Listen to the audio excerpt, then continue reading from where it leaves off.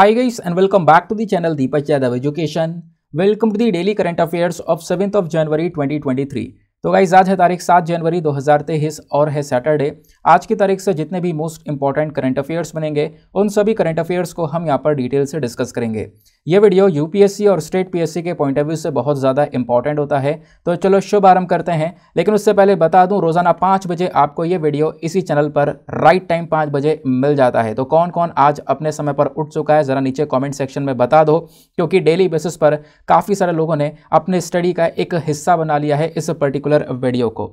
आगे आते हैं। देखो, इस वीडियो के अंदर हम मेजरली इंडियन एक्सप्रेस के ऊपर तो फोकस करेंगे ही करेंगे। उसके साथ साथ पीआईबी और डाउन टू अर्थ जैसे इंपॉर्टेंट आर्टिकल्स के ऊपर भी ज़ोर देने वाले हैं, जो कि आपके एग्जामिनेशन के लिए बहुत रेलिवेंट है। एक बात ध्यान से सुनना, वीडियो का अगर आपने अंत मिस कर दिया है तो वीडियो का सबसे इंपॉर्टेंट पार्ट आपने यहाँ पर छोड़ दिया है। क्योंकि वीडियो के लास्ट में आपको टेस्ट सीरीज़ दी जाएगी, यानी पूरा वीडियो को अच्छे से सुनो। लास्ट में आपको प्रिलिम्स रैपिड फायर का टेस्ट दिया जाएगा। उस टेस्ट को अटेम्प्ट करना और आपका कितना स्कोर आया है, वो नीचे कॉमेंट सेक्शन में लिखना। आपको वो प्रिलिम्स के लिए तैयार करेगा, क्योंकि वो सारे के सारे क्वेश्चन बिल्कुल यूपीएससी की तरह प्रिलिम्स में जैसे पूछे जाते हैं, उसी प्रकार से फ्रेम किए जाते हैं डेली बेसिस पर। ना आगे बढ़ने से पहले अगर आप लोग को इस लेक्चर का पीडीएफ चाहिए तो क्या करना है? सबसे पहले डाउनलोड करना है टेलीग्राम देन उसके बाद जाके सर्च बॉक्स में टाइप करना दीपक यादव एजुकेशन यूपीएससी आगे ज़रूर लगा देना, आपको ये वाला चैनल मिल जाएगा। यहाँ से आप डेली बेसिस पर इस लेक्चर के पीडीएफ को डाउनलोड कर पाओगे। साथ ही साथ में, अगर आप लोग मेरे साथ में पर्सनली कनेक्ट करना चाहते हो तो क्या करना है? इंस्टाग्राम पे जाना और वहाँ पे फिर से आपको दीपा यादव एजुकेशन लिखना है। आपको मेरा प्रोफ़ाइल मिलेगा, दस हज़ार से ज़्यादा ऑलरेडी लोग वहाँ पर जुड़ चुके हैं। आप भी मेरे साथ में पर्सनली जुड़ सकते हैं। देखो सेशन को स्टार्ट करने से पहले एक और छोटी सी इंपॉर्टेंट बात है, ध्यान सुनना। होता क्या है, रोज़ाना पाँच बजे ये वीडियो लाइव हो जाता है इस चैनल पर। तो कल के दिन यहाँ पर जब ये वीडियो लाइव था तो लगभग हाईएस्ट जो है ना 630 लोग पहुँच चुके थे। 630 लोग जो है वो लाइव इस वीडियो को देख रहे थे। अब ये बात मैं क्यों बता रहा हूँ? देखो, जब ये वीडियो मैंने लाइव करना स्टार्ट किया, वैसे एक जनवरी से वीडियो लाइव आ रहा है, आपका पता है मॉर्निंग में पाँच बजे। तो उस समय पर एक का दिन तक मैंने आपको इसके बारे में बताया था कि भाई आज इतने लोग लाइव आए, आज इतने लोग आए, ये मैं पहले बताता था। बीच में बंद कर दिया था, लेकिन काफ़ी सारे कमेंट्स आने स्टार्ट हो गए हैं पिछले दो चार दिनों में कि, सर, ये वाला पोर्शन ज़रूर लगा दिया करो। कि कल कितने लोग हाईएस्ट यहाँ पे लाइव पहुँचे थे। इससे हमें एक मोटिवेशन मिलता है। हम यहाँ पर देख पाते हैं क्या कॉम्पिटिशन है तो हम भी मोटिवेट हो पाते हैं तो हम भी यहाँ पर अपने शेड्यूल को मेंटेन कर पाते हैं। तो मैंने सोचा, चलो ठीक है, लगा दिया जाएगा। लेकिन प्रॉब्लम यह है कि यार, ये जो पूरा का पूरा स्क्रीनशॉट है ना, ये मैंने नहीं किया है। ये बेसिकली यहाँ पर किसी, जैसे कि आप जो वीडियोस देख रहे हैं ना यहाँ पे, जितने भी स्टूडेंट्स अभी वीडियोस देख रहे होंगे, उनमें से यहाँ पर काफ़ी सारे लोग इसका स्क्रीनशॉट क्लिक कर लेते हैं हाईएस्ट लाइव का और वो टेलीग्राम पर डाल देते हैं। तो आप में से कोई भी यहाँ पर ये काम कर सकता है। हाइएस्ट जितने भी लाइव पहुँचते हैं, उसका स्क्रीन क्लिक करके अपना जो टेलीग्राम ग्रुप है ना, उसमें डाल देना। मैं नेक्स्ट डे पर इसको लगा दूँगा। अगर आपको इससे मोटिवेशन मिलता है तो छोटा सा काम है, इसमें कोई मेहनत है नहीं, ये भी किया जा सकता है और आपको एक हेल्प हो जाएगी, ठीक है? चलो, आगे आते हैं।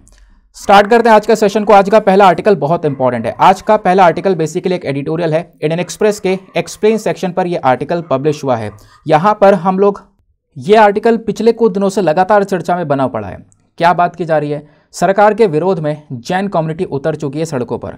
हमारे देश में कई सारी जगह पर जैन समुदाय ने बहुत ज़्यादा प्रोटेस्ट किया है। वो प्रोटेस्ट के पीछे का रीज़न क्या है मैं आपको समझाऊँगा। वो जो प्रोटेस्ट है ना, वो जो विरोध हो रहा है, वो झारखंड और गुजरात से लिंक हुआ हुआ है। तो यहाँ पर क्या बड़ी बड़ी कंट्रोवर्सीज़ हुई हैं, उसको मैं आपको समझाऊँगा। तो ये जो एडिटोरियल बहुत लंबा चौड़ा आर्टिकल लिखा गया था। अलग अलग यहाँ पे राइटर्स ने मिलकर इस आर्टिकल को लिखा है। तो मैं आपको सिंपल से शब्दों में समझाने की कोशिश करूँगा। ये एक ऐसा टॉपिक है, जो कि एग्जामिनेशन में हर साल पूछा जाता है। मैं आपको थोड़ा सा जैनिज़्म के बारे में भी यहाँ पर बताऊँगा। ठीक है? आप देख पाओगे न्यू दिल्ली का पिक्चर है, जहाँ पर लगातार ये प्रोटेस्ट किया जा रहा है जैन कम्युनिटी के थ्रू आगे समझते हैं। हुआ क्या? जैन कम्युनिटी के जो भी मेंबर्स हैं, वो पिछले कुछ समय पर यहाँ आप देख पाओगे, लगभग पिछले दो सप्ताह से ये चल रहा है। लगातार देश भर में अलग अलग जगह पर विरोध चल रहा है प्रोटेस्ट चल रहा है। प्रोटेस्ट चल रहा है दो जगह को लेकर। एक जगह झारखंड के अंदर में है और एक जगह गुजरात के अंदर में है। झारखंड में जो जगह है, उसको हम लोग बोलते हैं संवेद शिखर। और गुजरात में जो जगह है, वो है बेसिकली शित्रुंजया हिल ये दोनों ही जगह जैन कम्युनिटी के लिए बहुत ज़्यादा इंपॉर्टेंट है, बहुत पवित्र जगह मानी जाती हैं।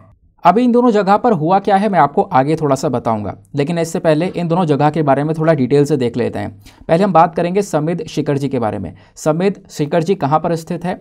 पार्शनाथ जो हिल्स हैं पार्शनाथ की जो पहाड़ियाँ हैं, वहाँ पर स्थित है। इस प्रकार से आपको समेत शिखर जी जैन टेंपल ये देखने को मिल जाता है पार्शनाथ पहाड़ी के ऊपर। ये बेसिकली कहाँ पर जगह स्थित है? ये झारखंड के अंदर आपको स्थित देखने को मिलेगा। आप देखोगे कई सारे न्यूज़ आर्टिकल्स यहाँ पर पब्लिश हुए हुए हैं। समेत शिखर नहीं बनेगा पर्यटन स्थल, विवाद के बाद केंद्र सरकार का बड़ा फैसला। इस प्रकार से कई सारे जो न्यूज़ आर्टिकल्स वो आपको यहाँ पर पब्लिश होते हुए नज़र आएँगे। मैं आपको समझाऊँगा पूरा मैटर क्या है। यहाँ पे आपको झारखंड का मैप दिखेगा। तो झारखंड के अलग अलग डिस्ट्रिक्ट्स यहाँ पे नज़र आ रहे होंगे। यहाँ पर आपको धनबाद नज़र आएगा। तो धनबाद के जस्ट ऊपर आपको यहाँ पर गिरिडीह नज़र आ रहा होगा।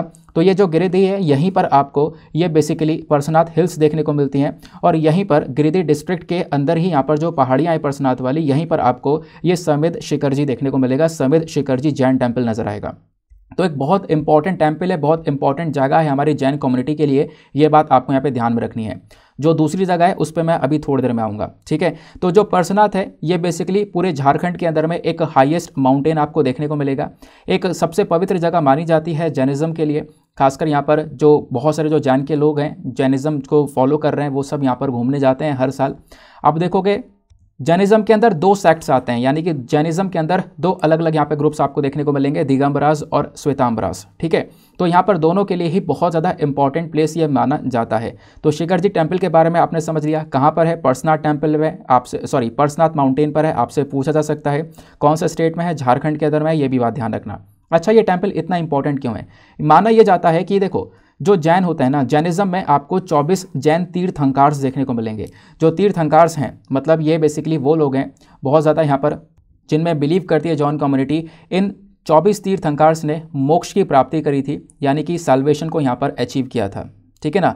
आ, लेकिन यहाँ पर क्या होता है इन 24 तीर्थंकार्स में से जो 20 तीर्थंकार्स हैं वो यहीं पर इसी वाले टेंपल पर उन्होंने यहाँ पर मोक्ष की प्राप्ति करी है उन्होंने यहाँ पर ही सेल्वेशन को अचीव किया है। तो 24 में से 20 तीर्थंकार्स ने इसी वाले टेंपल पर मोक्ष की प्राप्ति करी है। इस वजह से यहाँ पर यह टेंपल जैनिज़्म के अंदर में बहुत ज़्यादा इंपॉर्टेंट है, ये बात आपको समझ में आ गई। ठीक है ना? बात क्लियर हो गई। तो शम्बे सिकर जी का इंपॉर्टेंस क्या है? इंपॉर्टेंस मैंने आपको बता दिया है कि यहाँ पर चौबीस में से बीस तीर्थंकर ने जो सैल्वेशन है, जो मोक्ष है, उसको यहाँ पर अचीव किया था। हर साल हज़ारों जो जैन्स है, वो यहाँ पर जाते हैं। सत्ताईस किलोमीटर की यहाँ पे लंबी पहाड़ी है, उसको चढ़कर जाना पड़ता है, ताकि यहाँ पर जो सैल्वेशन श्राइन्स बनाए गए हैं, बीस तीर्थंकार्स के, उनको घूमा जा सके, है ना? उनको देखा जा सके। तो यहाँ पर आपको ये चौबीस तीर्थंकार्स की पूरी लिस्ट देखने को मिल जाएगी। तो जैन में, जैनिज़्म में जो पहले तीर्थंकार थे, वो थे लॉर्ड ऋषभ, ठीक है ना? यहाँ पर आप देख पाओगे। तो ये चीज़ यहाँ पर आपने ध्यान में रखनी है। आगे आते हैं। नाउ ये जो रीजन है, मैंने आपको इसके बारे में पूरी तरह से सारी बातें बता दी हैं। फिर जो दूसरी जगह है, जिसको लेकर प्रोटेस्ट चल रहा है, वो है शेत्रुंजया हिल्स ठीक है ना? तो शेत्रुंजया भी बोलते हैं शेत्रुंजया हिल्स के नाम से भी ये जाना जाता है। तो यहाँ पर आप देखोगे, ये भी एक बहुत पवित्र जगह मानी जाती है, बहुत पवित्र टेंपल माना जाता है जैन कम्युनिटी के लिए। ठीक है ना? ये कहाँ पर स्थित है? ये शत्रुंजिया हिल्स के ऊपर, इन पहाड़ियों के ऊपर स्थित है। अब ये पहाड़ियाँ कहाँ पर हैं? ये गुजरात के अंदर हैं, खासकर जो भावनगर डिस्ट्रिक्ट है, वहाँ पर ये पहाड़ियाँ देखने को मिलेंगी। ठीक है? तो ये बहुत ज़्यादा पवित्र जगह मानी जाती है। यहाँ पर आपको कई सारे टेम्पल्स छोटे छोटे टेम्पल्स आपको देखने को मिल जाते हैं। इस प्रकार से ये जगह देखने को मिलती है। ठीक है ना? तो ये जो शत्रुंजा हिल्स है ना, इस पहाड़ी के ऊपर, इस प्रकार से कई सारे आपको ये टेम्पल्स देखने को मिलेंगे। ये सारे के सारे आपको जैन टेम्पल्स देखने को मिलते हैं। ठीक है? बात क्लियर हो गई। आगे आते हैं। फिर उसके बाद में यहाँ पर बताया ये जाता है अब ये जगह क्यों इंपॉर्टेंट है इतनी? तो ये जगह इसलिए इंपॉर्टेंट है क्योंकि यहाँ पर हंड्रेड्स ऑफ़ श्राइन्स आपको देखने को मिलेंगे, जो कि यहाँ पर बनाए गए हैं। जब जो यहाँ पर पहले तीर्थंकार थे जैनिज़्म के, वो यहाँ पर ऋषभ हैं। तो जो पहले तीर्थंकार थे the first Tirthankar of Jainism इन्होंने यहाँ पर अपनी जो टीचिंग्स वगैरह हैं, वो यहाँ पर दी थी इस के ऊपर में। ठीक है ना? तो इस वजह से भी ये जो जगह है बहुत ज़्यादा इंपॉर्टेंट मानी जाती है, ये आपने ध्यान में रखना है। फिर कुछ और टेम्पल्स देखने को मिलेंगे। पालीतना टेम्पल्स भी आपको इसी वाली पहाड़ी के ऊपर देखने को मिलता है, जिसको आज से 900 साल पहले बनाया गया था। ऐसा भी यहाँ पर मेंशन किया गया है। बात क्लियर हो गई। तो ये दो जगह के तो आपने अच्छे से पढ़ ली हैं। अब मैं आपको समझाता हूँ कि आखिरकार मैटर क्या है, क्यों आखिरकार जैन कम्युनिटी इन दोनों जगह को लेकर प्रोटेस्ट कर रही है। होता यहाँ पर यह है कि साल 2019 की बात है। साल 2019 में फेबररी के महीने में झारखंड की सरकार ने, अब झारखंड में आपको पता है कौन सा टेंपल देखने को मिलता है? समेत शिखर जी वाला टेंपल देखने को मिलता है। तो 2019 में फेबररी के महीने में झारखंड की सरकार ने क्या किया कि वो जो गिरिध डिस्ट्रिक्ट है ना, इसको basically as a tourist spot यहाँ पे नोटिफाई कर दिया। यानी कि एज अ टूरिज़्म के स्पॉट की तरह देखा जा रहा है। लोग वहाँ पर घूमने फिरने जा सकते हैं। इस प्रकार की बात यहाँ पर दो हज़ार उन्नीस में की गई। फिर अगस्त 2019 तक क्या कर दिया, जो वहाँ की सॉरी हमारी जो एनवायरमेंट मिनिस्ट्री है ना, इन्होंने क्या किया, इस पहाड़ी को, जिस पहाड़ी पर, यानी जो परसनाथ पहाड़ी है ना, जिस पहाड़ी पर सम्मित शेखर जी टेंपल है, इस पहाड़ी को एक इको सेंसिटिव जोन डिक्लेयर कर दिया। यानी कि एक इको सेंसिटिव जोन डिक्लेयर करने के साथ साथ में बोला गया कि ये जो एरिया है ना, ये जो पहाड़ी है, ये बेसिकली एक तरीके से यहाँ पर पोटेंशियल है इको टूरिज़्म का। यानी काफ़ी सारे जो लोग हैं, वहाँ पर घूमने जा सकते हैं, घूमने फिरने के लिए जा सकते हैं तो टूरिज़्म के लिए उसको ओपन किया जा रहा था। तो ये चीज़ें यहाँ पर जैन कम्युनिटी के मेंबर्स को बिल्कुल भी पसंद नहीं आई हैं, इसी वजह से यहाँ पर प्रोटेस्ट किया जा रहा है। हालाँकि ये चीज़ 2019 में डिक्लेयर कर दी थी, लेकिन इसके बारे में जैन कम्युनिटी को अभी तक पता नहीं था। तो पहली चीज़ तो यहाँ पर यही है, इन जैन कम्युनिटी के गुस्सा होने के पीछे की। क्योंकि यहाँ पर जो डिसीज़न है ना, इस पूरे साइट को एक टूरिस्ट स्पॉट में बदलने के लिए, ये जो डिसीज़न है, ये सरकार ने खुद से ले लिया है, यहाँ पर किसी के साथ में कोई कंसल्टेशन कोई बातचीत नहीं हुई है। दूसरा यहाँ पर इनका कहना यह है कि हम इसलिए भी अपोज कर रहे हैं क्योंकि कहीं ना फिर आप, देखो ये हमारी पवित्र जगह है और आप इसको यहाँ पर टूरिस्ट के लिए ओपन कर रहे हो तो कोई फन वगैरह के लिए हम इसको ओपन करना नहीं चाहते हैं। साथ ही साथ में यहाँ पर जब टूरिस्ट के लिए ओपन किया जाएगा तो अलग अलग एक्टिविटीज़ होंगी। वहाँ पर मीट भी बिकेगा, एल्कोहल भी बिकेगा तो ये कहीं ना कहीं हमारे रिलीजियस सेंटिमेंट्स को हर्ट करेगा। ये बात इनका कहना है। साथ ही साथ में उन्होंने बोला कि आप यहाँ पर इस हिल को एक इको सेंसिटिव जोन डिक्लेयर कर रहे हो। तो ये कहीं ना कहीं बहुत बड़ी प्रॉब्लम होगी। ये बेसिकली वहाँ पर जो लोकल एम्प्लॉयमेंट है, यानी कि लोगों को रोज़गार देगी और लोग वहाँ पर पोल्ट्री फार्म्स खोलेंगे, यानी कि जो चिकन वगैरह है और साथ में मुर्गे वगैरह, वो पाले जाएँगे, जो कि यहाँ पर जैन कम्युनिटी बिल्कुल नहीं चाहती है कि उनके पवित्र जगह पर ये सारी चीज़ें की जाएँ, उसके आसपास भी ये सारी चीज़ें की जाएँ। इस वजह से यहाँ पर लगातार जो प्रोटेस्ट है, वो जारी है। आई होप आपको ये बात समझ में आ गई। ये तो मैंने आपको झारखंड वाली जो शमित सिकर जी है, उसकी कहानी बताई कि वहाँ पे जो जगह है, उसको लेकर जो प्रोटेस्ट है, वो क्यों चल रहा है। दूसरा प्रोटेस्ट यहाँ पे गुजरात वाला जो टेंपल है, उसको लेकर चल रहा है। गुजरात के अंदर में यहाँ पर क्या हुआ है?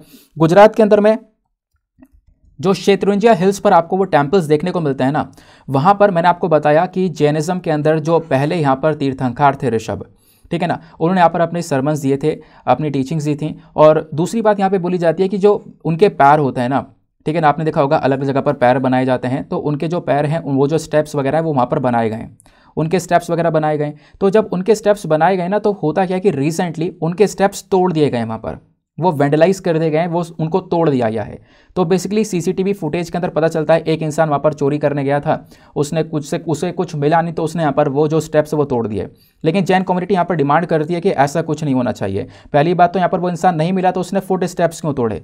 सबसे बड़ी बात यहाँ पर यह है कि उसने फुट स्टेप्स क्यों तोड़ा? कहीं ना कहीं यहाँ पर कोई और मामला देखने को मिलता है तो इस वजह से इस पर्टिकुलर मामले में थोड़ा और ज़्यादा इन्वेस्टिगेशन होना चाहिए और ज़्यादा डीपली इन्वेस्टिगेशन किया जाए कि आखिरकार मामला क्या था, उसने ये फुट स्टेप आखिरकार क्यों तोड़े हैं।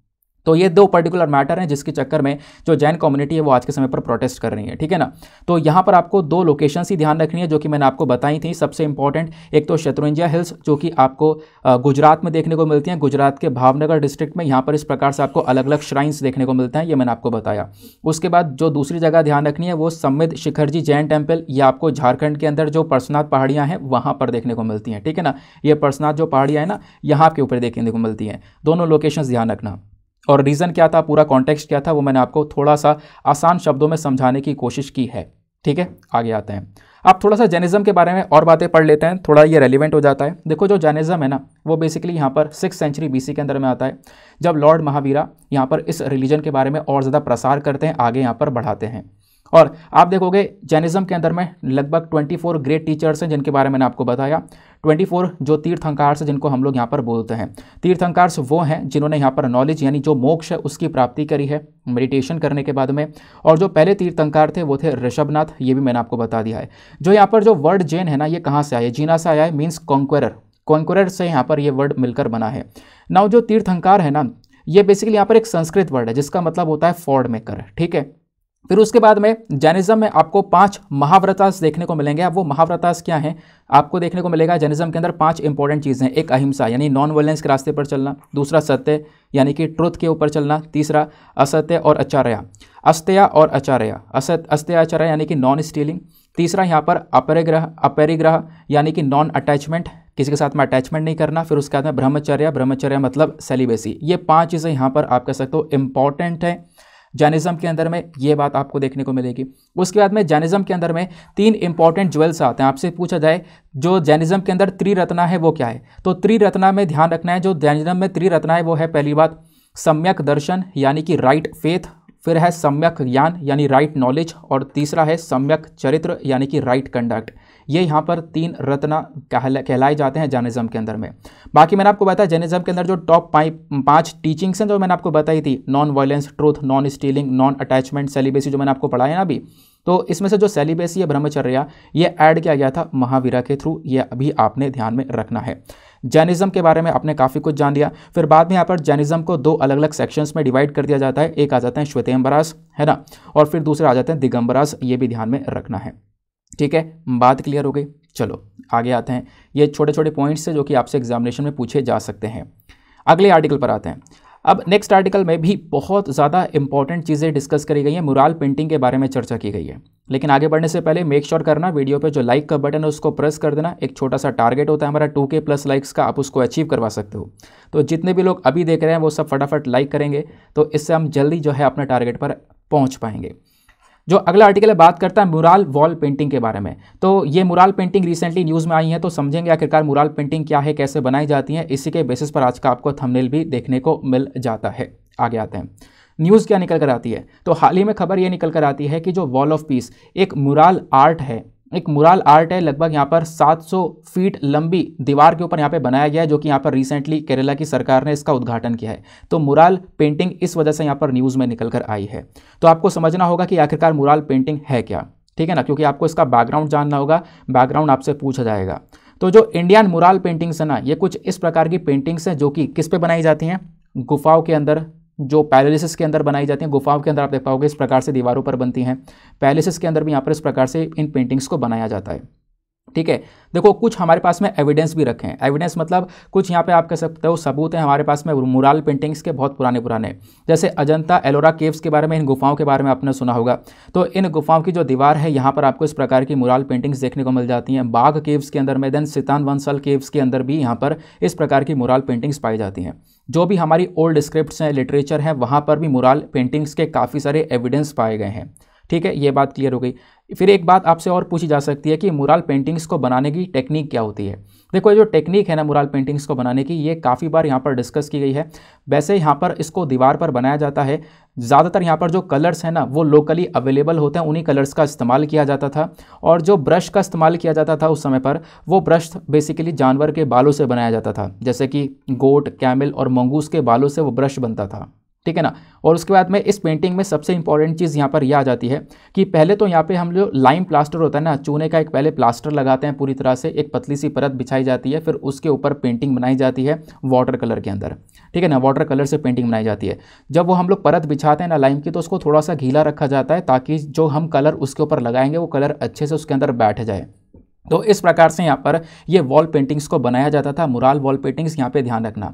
ये जो टेक्निक और जो पूरा का पूरा प्रोसेस है इंडियन वॉल पेंटिंग्स का, ये सब कुछ यहाँ पर डिस्कस किया गया एक संस्कृत टेक्स्ट के अंदर में पाँच से लेकर छः सेंचुरी के आसपास का वो टेक्स्ट है तो आप कह सकते हो इतनी पुरानी यहाँ पर ये बात देखने को मिलती है मुराल पेंटिंग्स की। ठीक है, बात क्लियर हो गई, आगे आते हैं। कई सारे अलग अलग प्रकार के जो कलर्स हैं यहाँ पर यूज़ किए जाते थे नेचुरल कलर्स का सबसे ज़्यादा यहाँ पर यूज़ किया जाता था। जैसे कि काजल मिल गई, काजल का इस्तेमाल कर लिया, चौक का इस्तेमाल कर लिया, चौक के लिए वाइट कलर का इस्तेमाल कर लिया। लैम्प में से लैम्प का जो ब्लैक कलर होता है, उसका लैम्प जब जलता है ना तो जो ब्लैक ब्लैक उसके आसपास जम जाता है, उसका इस्तेमाल कर लिया। तो इस प्रकार से जो नेचुरल कलर्स हुआ करते थे, उन्हीं का इस्तेमाल किया जाता था मुराल पेंटिंग के अंदर में। अच्छा मुराल होता क्या है? तो मुराल बेसिकली एक आर्ट वर्क है। जिसको यहाँ पर पेंट किया जाता है और डायरेक्टली वॉल पर यहाँ पर आप कह सकते हो अप्लाई किया जाता है, यानी दीवार के ऊपर इसको बनाया जाता है। ठीक है ना? ये बात ध्यान रखनी है। कभी कभी यहाँ पर आप देखोगे मुराल पेंटिंग छत के ऊपर जो होती है लिंटर जो होता है, उसके ऊपर भी यहाँ पर बनाया जाता है। बहुत सारी टेक्निक्स होती है मुराल पेंटिंग की, इसमें से जो फ्रेस्को है, वो सबसे इंपॉर्टेंट टेक्निक है। कौन सी वाली? फ्रेस्को वाली। ठीक है ना? तो जनरल टर्म में आप इसको वॉल पेंटिंग बोलते हैं, लेकिन अगर स्पेसिफिक टर्म में बात करें तो उसको फ्रेस्को बोला जाता है। तो ये बात भी ध्यान रखना है। मुराल फ्रेस्को सेम ही है। बात क्लियर हो गई। तो आपसे यहाँ से भी सवाल बन सकता है। नेक्स्ट इंपॉर्टेंट आर्टिकल पर आते हैं। अब ये आर्टिकल कुछ ज़्यादा इंपॉर्टेंट होने वाले हैं। बहुत ध्यान से इन चीज़ों को सुनते हुए चलना है आप सभी लोगों को। सबसे पहला आर्टिकल आता है कि इंडिया ने यहाँ पर अभी एशियन पैसिफिक पोस्टल यूनियन की जो लीडरशिप है वो हासिल कर ली है। तो भारत के पास में इसकी लीडरशिप आ गई है, इस वजह से ये आर्टिकल इंपॉर्टेंट है। तो ये तो आपने पढ़ लिया। अब इस पूरे आर्टिकल के अंदर ये समझाया है कि एशियन पैसिफिक पोस्टल यूनियन है क्या, क्योंकि आपसे एग्जामिनेशन में यही पूछा जाएगा। तो ध्यान रखना इसके बारे में। ठीक है तो न्यूज़ क्या है कि इंडिया के पास में लीडरशिप आ चुकी है एशियन पैसिफिक पोस्टल यूनियन की और यहाँ पर ये सारा का सारा डिस्कशन हो चुका है। अब इसके जो बेसिकली नए चेयरमैन हैं, वो भी आ चुके हैं और वो बेसिकली भारत के एक व्यक्ति हैं, जिनका नाम है डॉक्टर विनय प्रकाश सिंह तो डॉक्टर विनय प्रकाश सिंह आपको देखने को मिलेंगे। ये पहले हमारे मेंबर पर्सनल हुआ करते थे पोस्टल सर्विस के। लेकिन अब यहाँ पर इनके हाथ में बेसिकली आप कह सकते हो ये जो बॉडी है, इस बॉडी की लीडरशिप आ जाती है। चार साल तक यहाँ पर इस बॉडी के अंदर ये सर्व करने वाले हैं, ठीक है? अब यहाँ पर मैंने बताया इस बॉडी का नाम क्या है? ए पी पी यू यानी एशियन पैसिफिक पोस्टल यूनियन इसकी लीडरशिप भारत के हाथ में है। और कौन अभी यहाँ पर इसके, आप कह सकते हो लीडर बने हैं, वो हैं डॉक्टर विनय प्रकाश सिंह। या आप यहाँ पर इनका लेटर देख पाओगे, ठीक है? तो बात यह है कि आपको पता होना चाहिए कि एपीपीयू क्या है, क्योंकि ऐसे डायरेक्टली प्रिलिम्स के अंदर कई बार सवाल बनते हैं। एशियन पैसिफिक पोस्टल यूनियन क्या है? ये बेसिकली एक इंटर गवर्नमेंटल बॉडी है। इंटर गवर्नमेंटल बॉडी का मतलब है कई सारे देशों की सरकार मिलकर यहाँ पर काम करती है। जैसे लगभग इसके अंदर 32 अलग अलग मेंबर कंट्रीज़ हैं तो 32 मेंबर्स से पहली बात तो यही ध्यान रखनी है। 32 इसके अंदर मेंबर्स हैं जो कि आपस में मिलकर काम करते हैं। 32 मेंबर्स कौन कौन से हैं? एशिया और पैसिफिक वाले रीजन के, इंडिया और इंडिया के आसपास वाली कंट्रीज़ के मेंबर्स यहाँ पर देखने को मिलेंगे। और इस बॉडी का गोल क्या है? क्यों बनाया गया है? उससे पहले ये ध्यान रखना कि जो एशिया पैसिफिक रीजन के मेंबर्स यहाँ पर देखने को मिलते हैं, ये तो आपने समझ लिया।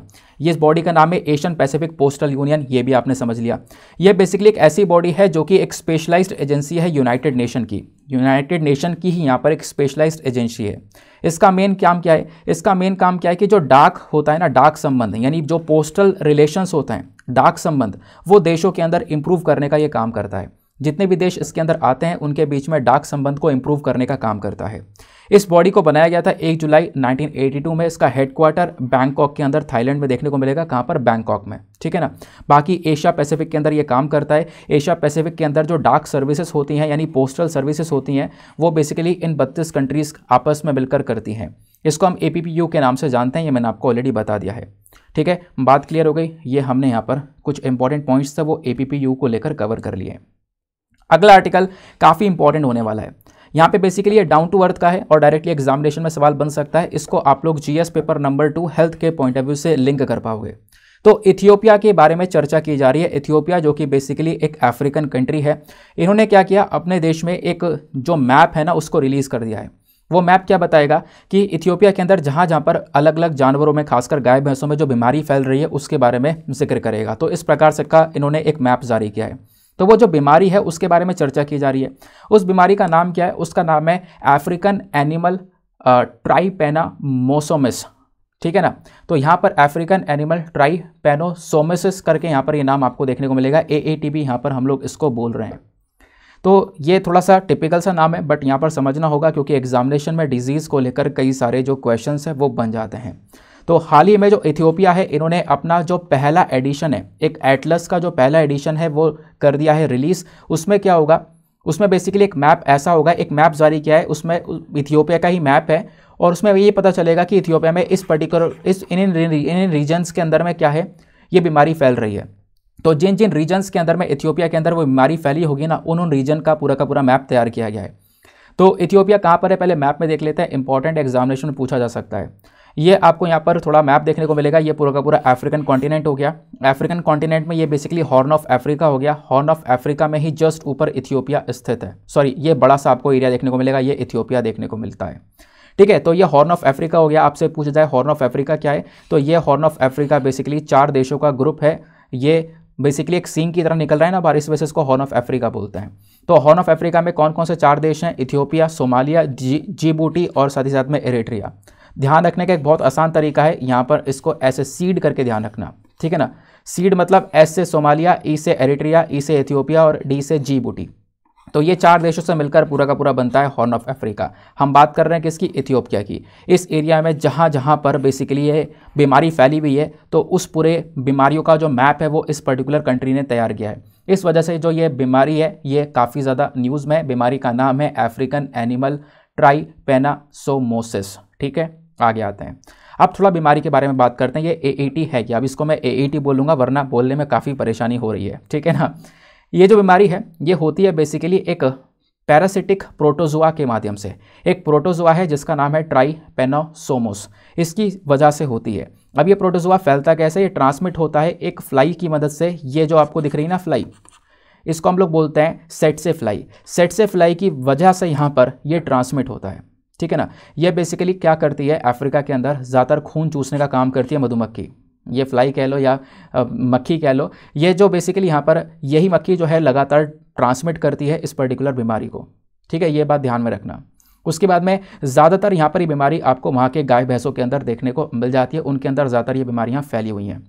ठीक है? तो ये क्या है बेसिकली ये बेसिकली यहाँ पर एक प्रोटोजोआ टायरा पेनोसोम्स की वजह से यहाँ पर बीमारी फैलती है और ये चीज़ कौन फैलाता है? ये बेसिकली एक सेट से जो फ्लाई है, वो यहाँ पर इसको फैलाती है। ठीक है ना? ये बात क्लियर हो गई। आगे बात करते हैं। इस बीमारी की कोई भी आपको वैक्सीन वगैरह नहीं देखने को मिलती है, कोई भी प्रॉपर दवाइयाँ वगैरह आज के समय पर नहीं है, इस वजह से ही थोड़ा सा और ज़्यादा ये प्रॉब्लम्स को क्रिएट करता है। इवन ये बीमारी इंसानों के अंदर, यानी कि अफ्रीका के अंदर जो लोग हैं, जो ह्यूमन्स हैं, वहाँ पर भी फैल जाती है, इसको हम लोग स्लीपिंग सिकनेस के नाम से भी जानते हैं, ध्यान रखना। ठीक है ना? बाकी कई सारे प्रोजेक्ट्स आज के समय पर चलाए जा रहे हैं इस बीमारी को रोकने के लिए, जैसे एक का नाम है कॉम्बैट प्रोजेक्ट ठीक है? कॉम्बैट प्रोजेक्ट के अंदर में हम लोग काम कर रहे हैं इस बीमारी को कंट्रोल करने का। यूरोपियन जो कमीशन है, इन्होंने लगभग चार साल के लिए कुछ पैसा लगा दिया है कि हम लोग क्या करेंगे? अफ्रीका में इस बीमारी को लेकर और रिसर्च करेंगे इनोवेशन करेंगे और इस रिसर्च इनोवेशन के माध्यम से इस बीमारी को ठीक करेंगे। तो ये जो पैसा यूरोपियन कमीशन ने लगाया है, ये अगस्त 2021 से अगस्त 2025 तक खर्चा जाएगा। अफ्रीकन कंट्रीज़ जैसे कि South Africa Burkina Faso Cameroon Ivory उसके बाद में मोजाम्बिक युगांडा इन सब देशों के अंदर यहाँ पर ये पैसा लगाने वाले हैं ताकि इस बीमारी को टैकल किया जा सके। ठीक है? बात क्लियर हो गई। ये बीमारी कैसे होती है? एक प्रोटोजुआ एक पैरासिटिक प्रोटोजुआ की वजह से। प्रोटोजुआ क्या है? तो यहाँ पर जो प्रोटोजुआ आपको देखने को मिलता है ना, ये बेसिकली एक ऐसा जीव है जो कि यहाँ पर कभी कभी आप देखोगे इंसानों के अंदर में भी काफ़ी सारी जो बीमारियाँ हैं उसको उत्पन्न करते हैं ये। ठीक है? बहुत सारी जो बीमारियाँ हैं, उनको यहाँ पर पैदा कर देते हैं। जो बीमारियाँ पैदा करते हैं तो उनको हम लोग रोगकार प्रोटोजोआ कहते हैं। जैसा कि अभी जिस प्रोटोजोआ के बारे में हमने डिस्कशन किया है ना, उसके बारे में चर्चा की जा रही है। तो ये बीमारी कैसे फैलती है? इस फ्लाई की वजह से फैलती है, ये हम लोगों ने यहाँ पर समझ लिया। ये फ्लाई यहाँ पर इस प्रोटोजोआ को इंसानों के अंदर यहाँ पर फैला देती है। ठीक है? बात क्लियर हो गई? आगे आते हैं। अगले आर्टिकल की तरफ़। नेक्स्ट आर्टिकल काफ़ी इंपॉर्टेंट होने वाला है। यहाँ पर हम एक इंपॉर्टेंट पर्सनैलिटी के बारे में चर्चा करेंगे। काफ़ी ज़्यादा यहाँ न्यूज़ में है। रिसेंटली क्या हुआ है कि हमारे प्राइम मिनिस्टर ने श्रद्धांजलि दी है रानी वेलू नचेरजी को, इनकी बर्थ एनिवर्सरी के ऊपर। इस वजह से यहाँ पर ये पर्सनैलिटी काफ़ी न्यूज़ में आपको पता होगा जीएस पेपर नंबर वन के अंदर पर्सनैलिटी को लेकर क्वेश्चंस आते रहते हैं। ठीक है, यहाँ पर आप, यहाँ पे पीएम मोदी का ट्वीट भी देख पा रहे होंगे। तो रानी वेलू नचियार जी कौन थी? आओ इनके बारे में डिस्कशन करेंगे किस प्रकार से यहाँ पर इन्होंने अंग्रेज़ों को हराया, वो भी यहाँ पर हम लोग समझने की कोशिश करेंगे। आपका हिस्ट्री का एक इंपॉर्टेंट पार्ट है। तो न्यूज़ क्या है, ये तो मैंने आपको बता दिया। रानी वेलू नचियार जी के बारे में बात करें तो इनका जन्म होता है तीन जनवरी सत्रह सौ तीस में। तो रिसेंटली जो तीन जनवरी निकली है ना, इसी वजह से यहाँ पर इनकी जो बर्थ एनिवर्सरी है, उसका सेलिब्रेशन यहाँ पर किया गया है। इनका जन्म कहाँ पे होता है? तमिलनाडु के अंदर, जो रमंथापुरम है, वहाँ पर हुआ था। ये पहली क्वीन थी जिन्होंने यहाँ पर लगातार ब्रिटिश रूल को अपोज किया। जो अंग्रेज़ों का शासन था, उसके अगेंस्ट में खड़ी होने वाली पहली यहाँ पर ये रानी बनकर निकली और उन्होंने यहाँ पर अंग्रेज़ों से लड़ाई भी की। यानी ये बात की जा रही है सेपॉई म्यूटनी के भी कई साल पहले की, उस समय पर यहाँ पर ये पूरी तरह से ये लड़ाई कर रही थी अंग्रेज़ों से।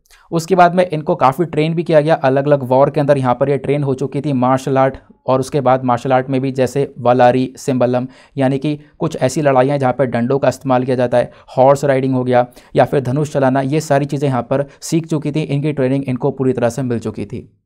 और काफ़ी सारी भाषाएँ यहाँ पर इनको आती थी, जैसा कि आप देखोगे फ्रेंच इंग्लिश उर्दू यहाँ पे आराम से यहाँ पर ये बोलियाँ करती थी। ये भी बात बताई जाती है इस पर्टिकुलर आर्टिकल में।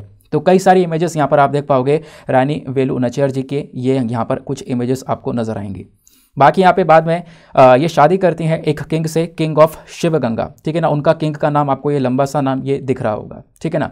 बाद में यहाँ पर क्या होता है कि इनकी एक बेटी भी होती है और उसके बाद में जो ब्रिटिश सोल्जर्स हैं, ब्रिटिश सोल्जर यहाँ पर इनके हस्बैंड को मार देते हैं।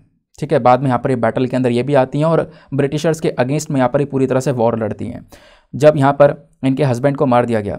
तो फिर उसके बाद में ये कोलेब्रेशन करती हैं हैदर अली और साथ ही साथ में गोपाल नायकर के साथ में। कोलेब्रेशन करने के बाद में यहाँ पर ये वॉर लड़ती हैं ब्रिटिशर्स के अगेंस्ट में और यहाँ पर एक विक्टोरियल विक्टोरियल्स ही आप कह सकते हो कि उभर कर आती हैं।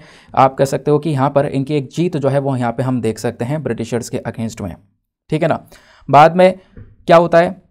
जो भी इनके पास में पावर्स आती हैं बाद में, जीतने के बाद में वो सारी की सारी जो पावर्स हैं, वो मारुदू ब्रदर्स को दे देती हैं। मारुदू ब्रदर्स को यहाँ पर ही पावर्स जो है ना, ये प्रोवाइड करवा देती हैं, ताकि वो हमारे कंट्री को एडमिनिस्टर कर सकें। ये पावर्स मारुदू ब्रदर्स को दी गई थी सत्रह सौ अस्सी में, ताकि वो हमारे देश को एडमिनिस्टर कर सकें इन पावर्स के माध्यम से। ठीक है ना? तो बात ध्यान रखना, आपसे यहाँ पर पूछा जा सकता है। मैं बिल्कुल एकदम शॉर्ट चीज़ें लेकर आया हूँ, यानी कि जैसे आर्टिकल चर्चा में है ना तो इस आर्टिकल के बिल्कुल जो भी काम काम की चीज़ें हैं, सिर्फ़ वो वो मैं आपको बता रहा हूँ। इस वजह से आर्टिकल थोड़े छोटे हैं, लेकिन ज़्यादा आर्टिकल्स आप कवर कर रहे होंगे। कोई भी ऐसी चीज़ नहीं होगी जो आप छोड़ रहे होंगे। ठीक है? अगले आर्टिकल पर आते हैं। नेक्स्ट आर्टिकल काफ़ी इंपॉर्टेंट होने वाला है। अब यहाँ पर क्या बात की जा रही है? यूरोप के अंदर हमने देखा है कि देखो, अभी दुनिया भर में बहुत ज़्यादा ठंड पड़ रही है। दुनिया भर में नहीं कहेंगे तो फिर भी यहाँ पर आप देखोगे नॉर्थ के अंदर काफ़ी ठंड पड़ती हुई नज़र आ रही है। अभी इंडिया में यहाँ पर आप देखोगे नॉर्थ नर्दर्न साइड में बहुत ज़्यादा ठंड पड़ रही है।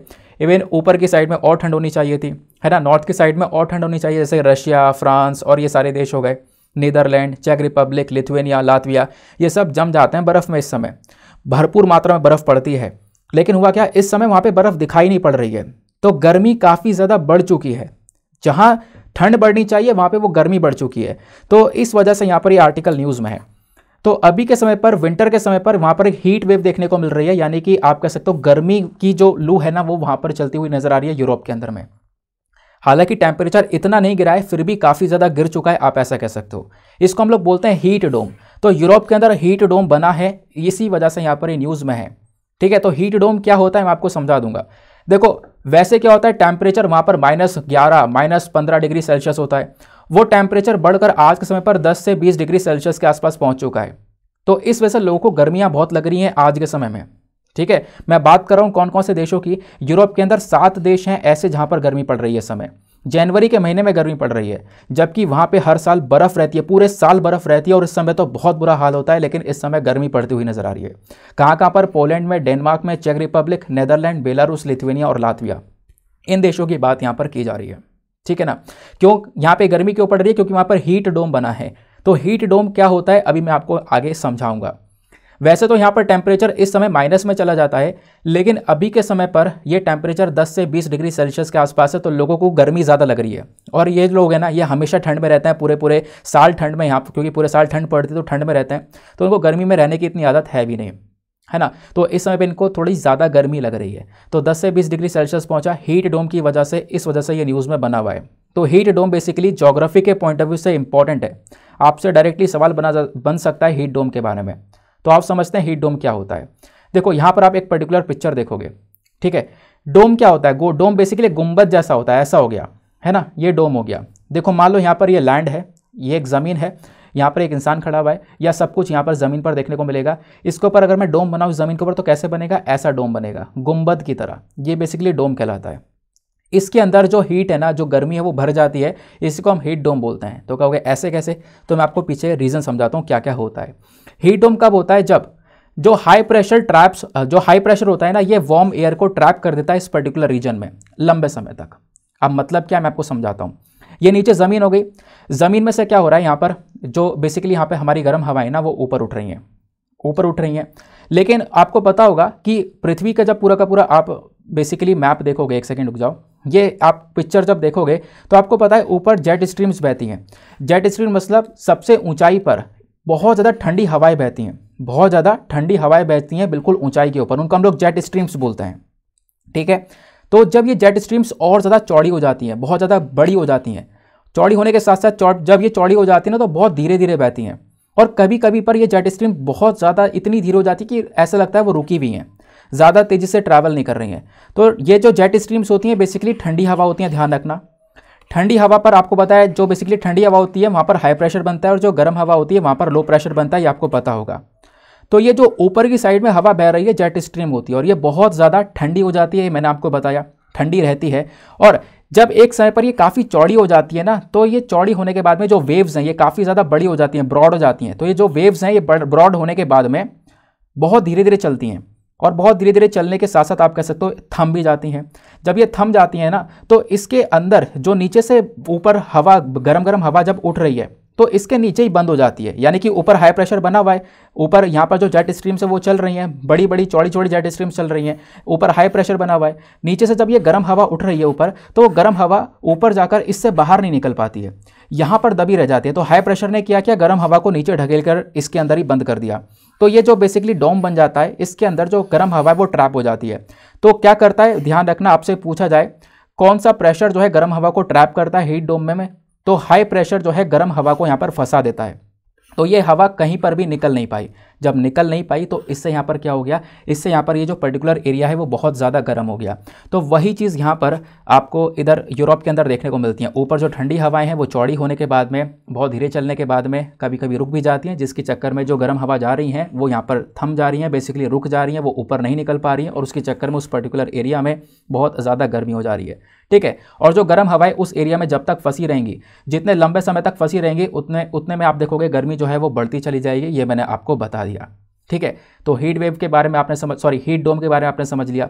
हीट डोम का फॉर्मेशन बेसिकली जेट स्ट्रीम के ऊपर डिपेंड करता है, ये मैंने आपको बता दिया। जेट स्ट्रीम जो कि बेसिकली हाई एटमॉस्फेयर पर यानी कि जो हमारा वातावरण है, बिल्कुल ऊंचाई पर जो हवाएँ बह रही होती हैं, उसको हम जेट स्ट्रीम बोलते हैं। तो जेट स्ट्रीम जो बेसिकली बहती है ना, इसका वेव लाइक पैटर्न है। वेव लाइक पैटर्न मतलब इस प्रकार से लहरों में यहाँ पर ये बहती है, ये मैंने आपको बताया। नॉर्थ से साउथ में बहती है और फिर उसके बाद में फिर से यहाँ पर नॉर्थ में बहती है। लेकिन मैंने आपको बताया, जब ये वेव्स बड़ी हो जाती हैं, चौड़ी हो जाती हैं, उसके बाद में ये बहुत धीरे धीरे चलती हैं। कभी कभी यहाँ पर एक जगह थम भी जाती हैं। तो इसके चक्कर में यहाँ पर होता यह है कि जो ये हीट डोम है, वो बन जाता है और गर्म हवा वहीं पर फंस जाती है क्योंकि हाई प्रेशर उस गर्म हवा को नीचे ढकेल देता है। क्योंकि मैंने आपको बताया जेट स्ट्रीम ठंडी हवाएँ हैं, ठंडी हवाएँ मतलब हाई प्रेशर और वो हाई प्रेशर क्या करता है? गर्म हवा को अंदर दबा कर रखता है। इसी को हम लोग यहाँ पर हीट डोम बोलते हैं। ऐसे इंस्टांसेस पहले भी कई बार देखने को मिले हैं, ये तो हम साल 2023 में देख रहे हैं। इससे पहले साल 2021 में ऑलरेडी हीट डोम बना था, कहाँ कहाँ पर? वेस्टर्न कनाडा में यूएस में हीट डोम बनकर आया था। उसके बाद में कई सारे और भी अलग अलग कंट्रीज़ के अंदर ये हीट डोम बनकर आया है, ऐसी बातें भी बताई जा रही हैं। ठीक है, बात क्लियर हो गई। ये क्या हो गया? ये बेसिकली खाली है। एक सेकेंड रुक जाओ। वहाँ पर कुछ नहीं है। वो आर्टिकल हम पहले कवर कर चुके हैं। इस चक्कर में वो मैंने आर्टिकल को स्किप करा है। वो आर्टिकल दोबारा से आ गया था। उस चक्कर में उसको तैयार नहीं किया है। अगला न्यूज़ आर्टिकल अगला आर्टिकल और ज़्यादा इंपॉर्टेंट है। देखो, यहाँ पर ये यह हमने एआईआर से लिया है। ठीक है ना? AIR के आर्टिकल भी कुछ अच्छे अच्छे आर्टिकल आते हैं। आपको पता होगा। वो मैंने यहाँ पर कवर करने की कोशिश की है। यहाँ पे हम डिस्कस करेंगे वर्ल्ड ब्रेल डे के बारे में। तो वर्ल्ड ब्रेल डे रिसेंटली यहाँ पर ऑब्ज़र्व किया गया। ये बहुत इंपॉर्टेंट पॉइंट है। ऐसे क्वेश्चन आपसे कई बार डायरेक्टली वन डे एग्जामिनेशन के अंदर भी बन जाते हैं। तो आपको समझाता हूँ कि वर्ल्ड ब्रेल डे क्या होता है, इसका मतलब यहाँ पर क्या होता है। हर साल चार जनवरी को ये दिन ऑब्ज़र्व किया जाता है, ध्यान रखना, हर साल चार जनवरी को। तो इस बार भी चार चार जनवरी को ये वर्ल्ड ब्रेल डे ऑब्ज़र्व किया गया था। जो ये डे है ना, ये बेसिकली यहाँ पर इसमें होता क्या है? ये जो ब्रेल नाम दिया गया, ये ब्रेल नाम क्यों दिया गया? ये ब्रेल नाम दिया गया एक इन्वेंटर के ऊपर। फ्रांस के एक व्यक्ति हैं लुइस ब्रेल। इन्होंने यहाँ पर इस दिन को फाउंड किया है, इस वजह से यहाँ पर आप कह सकते हो कि इन्हीं के नाम के ऊपर ये नाम दे दिया गया वर्ल्ड ब्रेल डे। ठीक है? तो मैंने आपको बताया फ्रांस के एक लुइस ब्रेल हैं इन्हीं के नाम पर, क्योंकि इन्होंने क्या किया था? ब्रेल लैंग्वेज को, ब्रेल भाषा को ढूंढा। जो ब्रेल भाषा है ना, इसको 1809 में ढूंढा इन्होंने, जिसके बेसिस पर यहाँ पर क्या होता है कि इनको बेसिकली इनके नाम के ऊपर एक दिन को मनाया जाता है, जिसका मैंने नाम बताया वर्ल्ड ब्रेल डे। अच्छा ब्रेल भाषा कौन सी होती है? तो यहाँ पर ये देखो, काफ़ी सारे ऐसे बच्चे होते हैं, काफ़ी सारे ऐसे लोग होते हैं जो देख नहीं पाते। है ना ब्लाइंड होते हैं या विजुअली इम्पेयर्ड होते हैं। देखने की क्षमता उनकी ख़त्म हो चुकी है। तो यहाँ पे वो लोग क्या करेंगे? उनको कैसे पढ़ना होगा? तो उसके लिए यहाँ पर ये पूरा का पूरा ब्रेड लैंग्वेज बनाया गया था इन इन्वेंटर के थ्रू ब्रेड लैंग्वेज क्या होती है? इस प्रकार से एक शीट है। इस पर ऊपर छोटे छोटे दाने आपको दिख रहे होंगे जो कि उठे उठे यहाँ पर बने हुए हैं। डॉट डॉट्स दिख रहे होंगे रेस डॉट्स जिसको हम लोग बोलते हैं। तो ये अलग अलग पैटर्न्स पे बनाए गए तो इंसान यहाँ पर जो बच्चा देख नहीं पा रहा है, जो व्यक्ति देख नहीं पाता है है ना? तो वो यहाँ पर इसको टच करके फील करेगा, ये कौन सा पैटर्न है? ये क्या चीज़ लिखी हुई है? इसको हम लोग बोलते हैं ब्रेल लैंग्वेज तो ये ब्रेल लैंग्वेज यहाँ पर इन इन्वेंटर ने फाउंड करी थी और यही यहाँ पर जो ब्रेल लैंग्वेज है, इसको आगे बढ़ाने के लिए क्या होता है? यहाँ पे जो चार जनवरी है, इसको हम लोग वर्ल्ड ब्रेल डे की तरह देखते हैं। ठीक है? बात क्लियर हो गई। और इस दिन यहाँ पे हम लोग अवेयरनेस एक जागरूकता फैलाते हैं कि भले यहाँ पर जो लोग हैं, भले ही वो देख ना पा रहे हों, लेकिन उनके पास में कम्युनिकेशन करने का एक बहुत अच्छा यहाँ पर आप कह सकते हो ये ज़रिया है ब्रेल इसके माध्यम से वो चीज़ों को समझ पाएँगे, इस पैटर्न के ऊपर हाथ से वो समझ पाएँगे कि वो पैटर्न क्या है, वो क्या चीज़ है। तो ये चीज़ यहाँ पर उनको हेल्प करेगी बहुत ज़्यादा और वो सोसाइटी के अंदर पूरी तरह से पार्टिसिपेट भी कर पाएँगे। तो इस वजह से यहाँ पर ध्यान रखना। तो ब्रेल के आपसे पूछा जा सकता है। ब्रेल भाषा का किसने इन्वेंट किया है? लुइस ब्रेल ने इन्वेंट किया है और वर्ल्ड ब्रेल डे हम चार जनवरी को ऑब्ज़र्व करते हैं इसी के बेसिस पर। ठीक है? तो एक छोटा सा आर्टिकल था। अगला न्यूज़ आर्टिकल बहुत इंपॉर्टेंट होने वाला है इंडियन एक्सप्रेस के एक्सप्लेन सेक्शन पर यह पब्लिश हुआ है। क्या बात की गई है? महादई के बारे में। महादई जो वाटर शेयरिंग डिस्प्यूट है, उसके बारे में। आपको पता होगा, महादई नदी जो है ना, इसका पानी को लेकर, इसकी पानी को शेयरिंग को लेकर बहुत लंबे समय से विवाद चल रहा है। और वो विवाद जो है, वो आज के समय पर काफ़ी ज़्यादा बढ़ चुका है। तो मैं आपको समझाता हूँ बहुत सिंपल से शब्दों में आखिरकार वो विवाद क्या है। क्या है कलसा बंदूरी नाला प्रोजेक्ट वो भी मैं आपको यहाँ पर समझाऊँगा। तो हुआ क्या है? न्यूज़ क्या है? पहले हम उसको समझ लेते हैं। 30 दिसंबर 2022 की बात है, यानी कि जब हमारा साल, पिछला साल ख़त्म हुआ है। तो 30 दिसंबर 2022 को कर्नाटका के चीफ मिनिस्टर बसवराज बोमई, इन्होंने अपनी लेजिस्लेटिव असेंबली से ये बोला कि सरकार ने, यानी कि उनकी सरकार ने के राज्य सरकार ने बेसिकली एक क्लियरेंस रिसीव कर लिया है। उन उनकी राज्य सरकार को एक क्लियरेंस मिल चुका है केंद्र सरकार की साइड से, और वो क्लियरेंस किस चीज़ को लेकर है? महादई नदी के ऊपर यहाँ पर प्रोजेक्ट लगाने का। क्योंकि महादई नदी के ऊपर यह प्रोजेक्ट लगाने को लेकर ही विवाद चल रहा है। कर्नाटका चाहता है, क्या चाहता है कि यहाँ पर हम लोग महादई नदी के ऊपर दो बाँध बना लें। इस बाँध के माध्यम से कर्नाटका को पानी मिलेगा। लेकिन गोवा यहाँ पर यह बाँध बनाने दे नहीं रहा था। यह डिस्प्यूट था, गोवा यहाँ पर इसके अगेंस्ट में खड़ा था। वो उसका कहना था, ये पानी हमारे पास आएगा नहीं, पानी यहाँ पर रुक जाएगा, कर्नाटका सारा पानी ले लेगा। तो ये डिस्प्यूट चल रहा था। तो अब इसका यहाँ पर एक सोल्यूशन जो है वो बेसिकली आया। जो यहाँ पर ये प्रोजेक्ट था, इस प्रोजेक्ट को लेकर जितना भी क्लियरेंस था, वो सारा का सारा कर्नाटका को मिल चुका है। कर्नाटका इस प्रोजेक्ट को डेवलप करेगा। ठीक है? बात क्लियर हो गई। तो मैं आपको समझाता हूँ आखिरकार क्या है ये पूरा का पूरा कालसा बंदूरी नाला प्रोजेक्ट ठीक है? यहाँ पर आपको ये मैप दिखेगा। इस मैप में आपको यहाँ महाराष्ट्र दिखेगा। महाराष्ट्र के जस्ट नीचे आपको ये कर्नाटका दिखेगा। कर्नाटका के जस्ट बराबर में आपको यहाँ पर ये गोवा दिख रहा होगा। सॉरी यहाँ पर बेसिकली गोवा आपको नज़र आएगा, ठीक है? हाँ यहीं पर है। ये गोवा हो गया, ये कर्नाटका हो गया, ये महाराष्ट्र हो गया। ये तीनों बिल्कुल साथ में है। तो अभी हम किस किस की बात कर रहे हैं? कर्नाटका और गोवा की बात कर रहे हैं तो लोकेशंस यहाँ पर ध्यान रखना। तो काला सा बंदूरी नाला प्रोजेक्ट का मकसद यहाँ पर क्या था? मैं आपको थोड़ा समझाने की कोशिश करता हूँ। मैंने अभी आपको जो मैप दिखाया था ना, एक बार फिर दिखाता हूँ। ये कर्नाटका, ये गोवा। इस मैप को जूम करके देखोगे तो यहाँ पर आपको देखने को मिलेगा जो डार्क कलर है, ये कर्नाटका है और जो ये लाइट कलर है, यहाँ पर ये गोवा है। इन दोनों के बीच का बॉर्डर आपको ये देखने को मिल जाएगा। ये इन दोनों के बीच का बॉर्डर है। तो होता क्या है, कर्नाटका से एक नदी निकलती है, जिसको हम लोग बोलते हैं महादई नदी। महादई नदी यहाँ पर इस प्रकार से वेस्टर्न घाट से निकलकर आती है और निकलकर आकर यहाँ पर इस प्रकार से बहकर जाती है। ठीक है? तो महादई नदी यहाँ पर कर्नाटका से निकल कर आई और बहकर इस प्रकार से चली गई। तो कर्नाटका में क्या हो रहा है कि अभी के समय पर ये जो एरियाज़ है, कुछ ऐसे एरियाज़ हैं, कुछ ऐसे डिस्ट्रिक्ट जैसे धारवाड़ गडक बेलागावी, कुछ ऐसे डिस्प्यूट्स ऐसे डिस्ट्रिक्ट्स आपको देखने को मिलेंगे जहाँ पर पानी की बहुत ज़्यादा कमी है। यहाँ पर डिस्ट्रिक्ट्स ऐसे हैं जहाँ पर पानी की बहुत ज़्यादा कमी है, पानी प्रॉपरली नहीं है। ठीक है, यहाँ पर भी एक नदी इस प्रकार से निकल कर जाती है, जिसको हम लोग बोलते हैं मालप्रभा नदी। इधर है महादई नदी, ऊपर है मालप्रभा नदी। ठीक है ना? तो कर्नाटका चाहता है कि महादई नदी से पानी निकालकर मालप्रभा नदी के अंदर पहुँचाया जाए। और इस नदी से फिर जो पानी है वो इधर के डिस्ट्रिक्ट्स को दिया जाए, क्योंकि यहाँ पर कर्नाटका में पानी की काफ़ी ज़्यादा कमी है, लोगों को पानी नहीं मिल पा रहा है। ठीक है तो आप कहोगे, ठीक है तो पानी कैसे ले जाया जा रहा है? पानी ले जाने के लिए दो डैम बनाए गए। दो डैम कहाँ कहाँ बनाए गए? अलग अलग नदी के ऊपर। अभी आपने कालसा बंदूरा सुना है ना? कालसा बंदूरा नाला प्रोजेक्ट वो क्या है? तो कालसा बेसिकली एक ट्रिब्यूटरी है। कालसा जो है बेसिकली यहाँ पर क्या है? सहायक नदी है। और इधर यहाँ पे बंदूरा भी एक सहायक नदी है, हमारी महादई नदी की। ठीक है? तो महादई नदी की कालसा भी सहायक नदी है और बंदूरा भी। तो इस यहाँ पर बेसिकली एक डैम बना दिया इस सहायक नदी पर एक डैम बना दिया बंदूरा डैम और इधर कालसा के ऊपर यहाँ पर बना दिया डैम एक कालसा डैम तो एक डैम यहाँ हो गया एक डैम यहाँ हो गया। इससे क्या होगा? कर्नाटका पानी स्टोर करके पान, क्या करेगा? पानी स्टोर करने के बाद में इस प्रकार से महा मालप्रभा नदी के अंदर भेज देगा।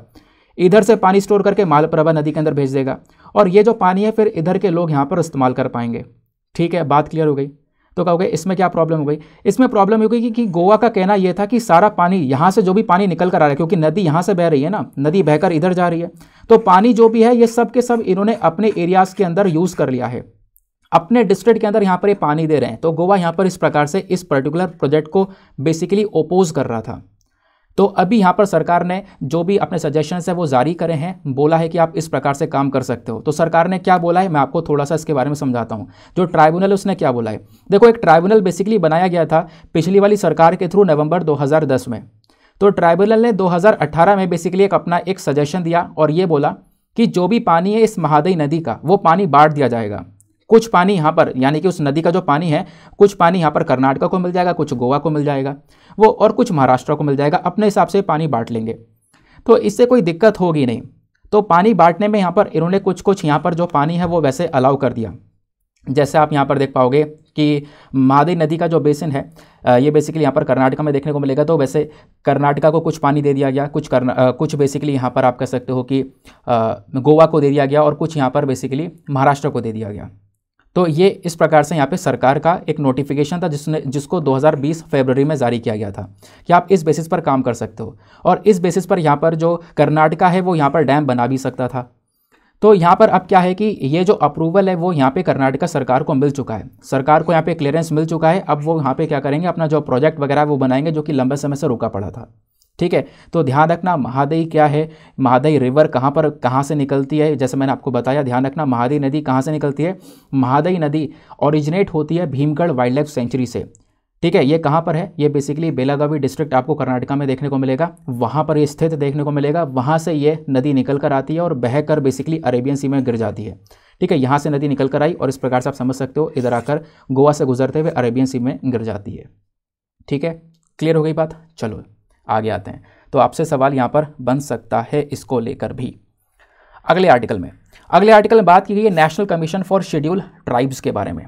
तो basically national commission for schedule tribe है क्या? हम इसको थोड़ा सा समझेंगे। ये रिसेंटली न्यूज़ में आया है। अच्छा न्यूज़ में क्यों आया है?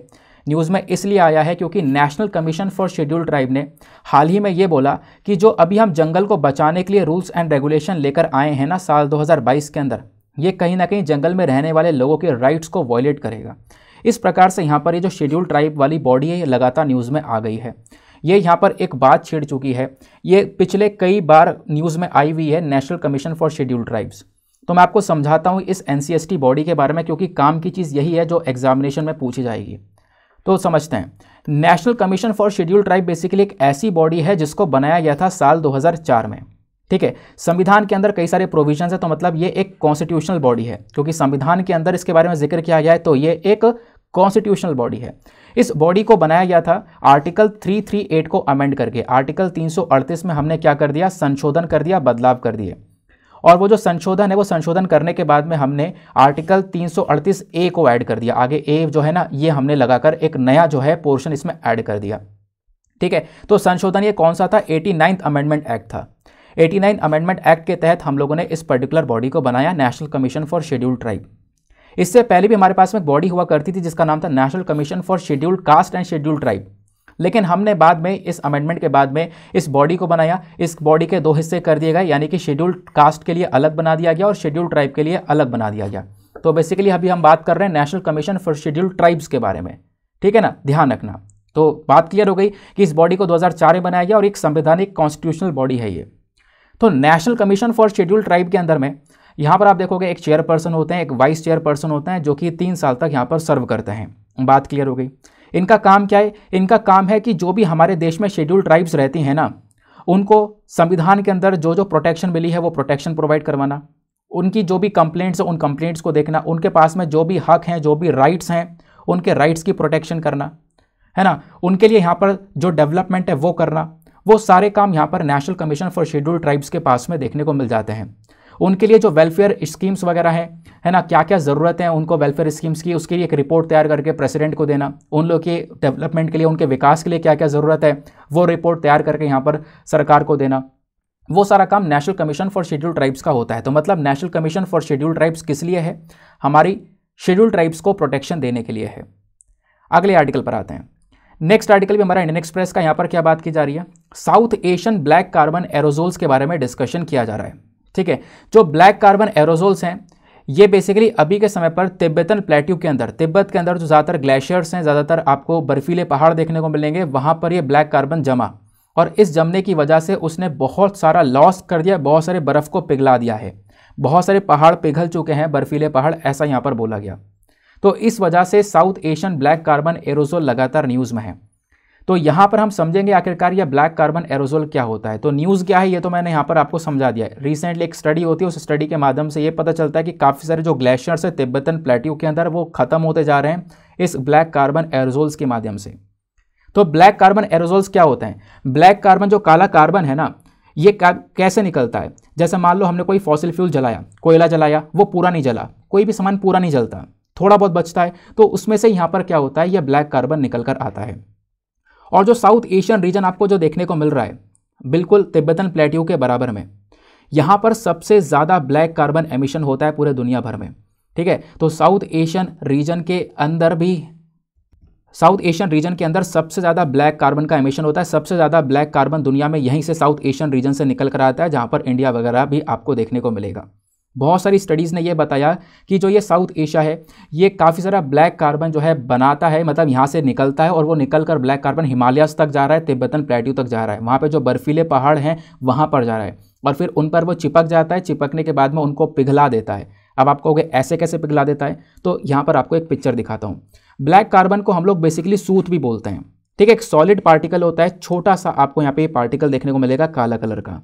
ठीक है, होता क्या है कि आपने कोई भी सामान जलाया तो उससे यहाँ पर मतलब उस, वो पूरा नहीं जला। उसमें से यहाँ पर छोटे छोटे यहाँ पर वो ब्लैक कार्बन निकल जाते हैं और फिर वो उड़कर इधर उधर पहुँचते रहते हैं। इनके अंदर क्षमता ये होती है कि ये बहुत ज़्यादा गर्मी को एब्जॉर्ब करते हैं, यानी सूर्य की गर्मी को सबसे ज़्यादा एब्जॉर्ब करने की ताकत इनके अंदर होती है।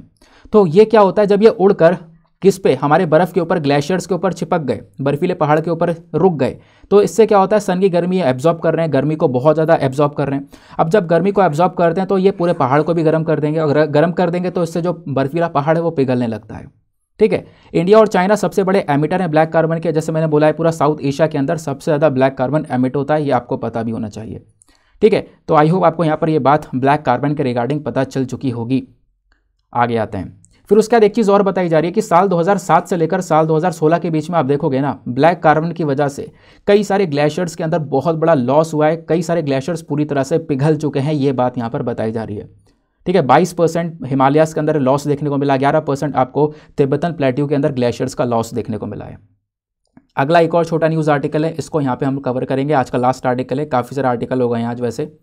तो यहाँ पर बात की जा रही है डाईबैक डिज़ीज़ के बारे में।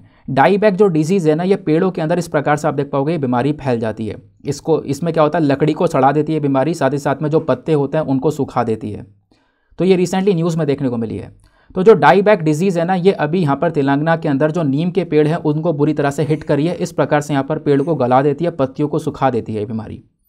तो इस वजह से यहाँ पर डाईबैक डिज़ीज़ के बारे में आपको पता होना चाहिए। जो डाईबैक डिज़ीज़ है, ये सबसे पहली बार रिपोर्ट करी गई थी हमारे देश में नाइनटीन में। देहरादून के पास में आप कह सकते हो, उत्तराखंड में ये पहली बार मतलब रिपोर्ट करी गई थी, इसके बारे में जानकारी आई थी। लेकिन सबसे पहली बार नोटिस करी गई, प्रॉपरली पता चलता है तेलंगाना के अंदर साल 2019 में।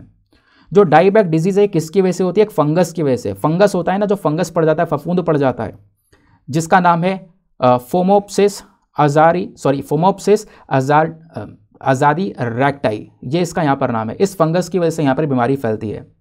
तो ये जो डाईबैक डिज़ीज़ है ना, ये क्या करती है? पत्तों को सुखा देती है, मैंने आपको बताया, पेड़ को सड़ा देती है है ना? पेड़ की जो उम्र है वो पूरी तरह से घटा देती है।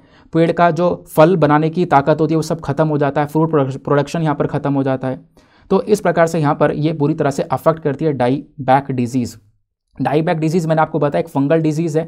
लेकिन यहाँ पर नीम ट्रीज़ को भी बुरी तरह से अफेक्ट कर देती है। कई बार यहाँ पर ये बीमारी तो किसी पेड़ को लग जाती है, इसके साथ साथ यहाँ पर उसमें कीड़े भी लग जाते हैं तो वो पेड़ और जल्दी ख़त्म हो जाता है। तो वो हालात भी यहाँ पर देखने को मिलते हैं।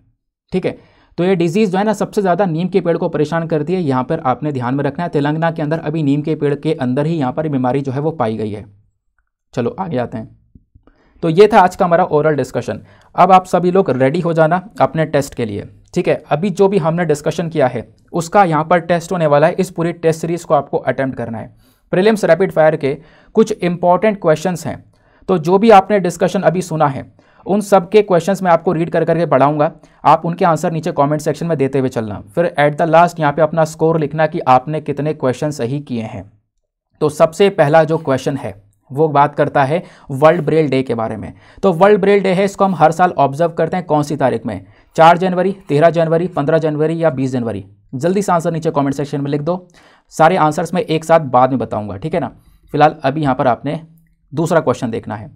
अभी हमने कालासा बंदूरी नाला प्रोजेक्ट के बारे में पढ़ा था, याद होगा। तो जो कालासा बंदूरी नाला प्रोजेक्ट है ना, ये कौन सी नदी के ऊपर बनाया जा रहा है, ये आपको बताना है। महादई नदी, कावेरी नदी, पेरियार या फिर ऑप्शन नंबर डी यमुना। फटाफट यहाँ पर इसका आंसर नीचे कमेंट सेक्शन में लिख दो, क्या है? ऐसे ही सवाल पूछा जाएगा डायरेक्टली आपने देखा होगा तपोवन प्रोजेक्ट वाला डायरेक्टली यूपीएससी ने पूछ लिया था कि कहाँ पर बनाया जा रहा है।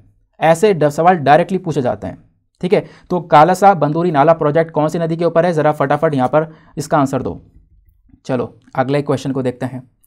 नेक्स्ट क्वेश्चन पर थोड़ा फोकस करना। ये थोड़ा सा यहाँ पे आपको कंफ्यूज कर सकता है। अभी हमने थोड़ी देर पहले national commission for schedule tribes के बारे में पढ़ा था। तो national commission for schedule tribes के रेफरेंस में आपको यहाँ पर दो स्टेटमेंट्स दिए गए हैं। पहला कि इस बॉडी को एस्टेब्लिश किया गया था 1994 में। दूसरा, ये एक स्टैचुरी बॉडी है। बताओ कौन सा स्टेटमेंट सही है? क्या वाकई में एक स्टैचुरी बॉडी है ये? क्या इसे 1994 में एस्टेब्लिश किया गया था? इसका आंसर क्या होना चाहिए? नीचे कमेंट सेक्शन बताओ। Option A one only option B two only option C दोनों सही हैं या फिर ऑप्शन डी दोनों गलत हैं? चलो, आगे आते हैं। अगले क्वेश्चन को देखते हैं। अभी हमने थोड़ी देर पहले ब्लैक कार्बन के बारे में चर्चा की है। थोड़ी देर पहले मैंने पढ़ाया है है ना? तो ब्लैक कार्बन एरोजल्स के रेफरेंस में अगेन आपको दो स्टेटमेंट्स दिए गए हैं। बताना यह है कि कौन सा स्टेटमेंट सही है। पहला स्टेटमेंट जो ब्लैक कार्बन एरोजोल्स होते हैं, इनको ये बेसिकली बनते हैं incomplete combustion of fossil fuel से। जो फॉसिल फ्यूल जलाते हैं हम लोग, हमने कोयला वगैरह जलाया, ये आधा जला, और उसी से यहाँ पर ये ब्लैक कार्बन बनता है। इसके अंदर ताकत होती है कि बहुत ज़्यादा लाइट को एब्जॉर्ब करते हैं सनलाइट को एब्जॉर्ब करने की ताकत इनमें ज़्यादातर होती है, ठीक है? दूसरा स्टेटमेंट बोलता है कि जो साउथ एशियन रीजन है, यहीं पर सबसे ज़्यादा ब्लैक कार्बन का एमिशन होता है पूरे दुनिया भर में। बताओ कौन सा स्टेटमेंट सही है? Option A one only option B two only option C दोनों सही हैं या फिर ऑप्शन डी दोनों के दोनों गलत हैं? ज़रा अटैम्प्ट करो इसके आंसर को। सारे के सारे आंसर्स मैं आपको एक साथ बताऊँगा इकट्ठे। अगला क्वेश्चन डाईबैक डिज़ीज़ के बारे में अभी हमने थोड़ी देर पहले डाईबैक डिज़ीज़ के बारे में पढ़ा था। तो डाईबैक डिज़ीज़ के रेफरेंस में अगेन आपको दो स्टेटमेंट्स दिए गए हैं, बताना है कौन सा स्टेटमेंट करेक्ट है। पहला स्टेटमेंट जो डाईबैक डिज़ीज़ है, ये सबसे पहली बार हमारे देश में पाया गया था नाइनटीन में, देहरादून के पास में, उत्तराखंड में। दूसरा स्टेटमेंट डायबैक डिज़ीज़ होता है एक फंगाई की वजह से, एक फंगस की वजह से जिसका नाम है फोमोपसिस एजाडी रैक्टाई बताओ कौन सा स्टेटमेंट सही है? Option A one only option C two only option C दोनों सही हैं या फिर ऑप्शन डी दोनों के दोनों गलत हैं? ज़रा इसका आंसर भी नीचे कमेंट सेक्शन में दे दो। अगला क्वेश्चन सबसे पहला ही आर्टिकल हमने डिस्कस किया था ए के बारे में एशियन पैसिफिक पोस्टल यूनियन के बारे में। तो इसके रेफरेंस में आपको दो स्टेटमेंट्स अगेन दिए गए हैं। पहला statement Asian Pacific postal union ध्यान से सुनना, ये एक स्पेशलाइज एजेंसी यूनाइटेड नेशन की नहीं है नॉट अ स्पेशलाइज एजेंसी दूसरा यहाँ पर, ये एक इंटर गवर्नमेंटल ऑर्गेनाइजेशन है, बत्तीस मेंबर कंट्रीज़ का, यानी थर्टी टू मेंबर कंट्रीज़ है इसके अंदर में। क्या ये सही है? बताओ यहाँ पर इन दोनों स्टेटमेंट में से कौन सा सही है? जो बत्तीस मेंबर्स हैं, वो एशियन पैसिफिक रीजन से आने वाले हैं। तो इन दोनों स्टेटमेंट को लेकर यहाँ पे बताना है कौन सा सही है। Option A one only option C two only option C दोनों सही हैं या फिर ऑप्शन डी दोनों के दोनों गलत हैं। आओ फटाफट यहाँ पर नेक्स्ट क्वेश्चन पर आते हैं। अगला क्वेश्चन अफ्रीकन एनिमल टाइप है नो सोमोसिस के रेफरेंस में, अभी जो बीमारी हमने पढ़ी थी ना, इसके रेफरेंस में दो स्टेटमेंट्स फिर से आपको दिए गए हैं। बताना है कौन सा स्टेटमेंट सही है। पहला स्टेटमेंट ये बीमारी होती है एक पैरासिटिक प्रोटोजुआ ट्राइपेनोसोम्स की वजह से। दूसरा, यहाँ पर ये बीमारी फैलती है मंकी के काटने से। बताओ यहाँ पर कौन सा स्टेटमेंट सही है? Option A one only option B two only option C दोनों सही हैं या फिर ऑप्शन डी दोनों के दोनों गलत हैं? ठीक है, आगे आते हैं।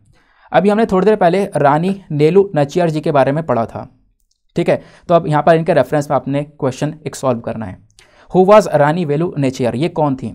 Option A, Hindi film artist थी। ऑप्शन नंबर बी फॉर्मर जज ऑफ़ मद्रास हाई कोर्ट थी। ऑप्शन सी इसरो साइंटिस्ट या फिर इनमें से कोई नहीं। ज़रा फटाफट यहाँ पर इसका आंसर आपको नीचे कमेंट सेक्शन में देना है। वैसे आंसर इसका दिख ही गया होगा। अगला क्वेश्चन अभी मैंने हीट डोम के बारे में आपको पढ़ाया था, याद होगा। हीट डोम के रेफरेंस में अगेन यहाँ पर आपको क्वेश्चन देखने को मिलेगा। हीट डोम के रेफरेंस में अगेन दो स्टेटमेंट्स दिए गए। पहला स्टेटमेंट हीट डोम कब बनता है? हीट डोम तब बनता है जब जो लो प्रेशर होता है ना लो प्रेशर क्या करता है? गर्म हवा को वहाँ पर फंसा लेता है। लो प्रेशर क्या करता है? गर्म हवा को फंसा देता है उस रीजन के अंदर में। क्या ऐसा है? दूसरा ऑप्शन बोलता है कि हीट डोम का जो फॉर्मेशन होता है ना, ये बेसिकली जेट स्ट्रीम के बिहेवियर पर डिपेंड करता है। जेट स्ट्रीम का जैसा बिहेवियर होगा, उसके ऊपर हीट डोम काम करेगा।